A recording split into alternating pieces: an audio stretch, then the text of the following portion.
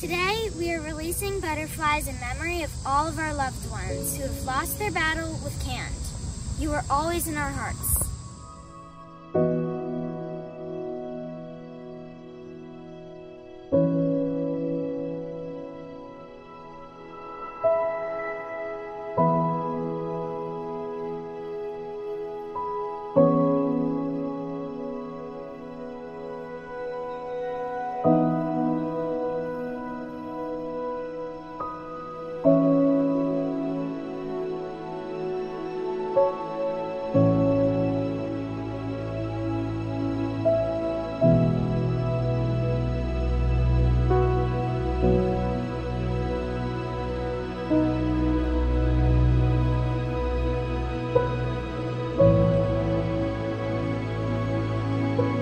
thank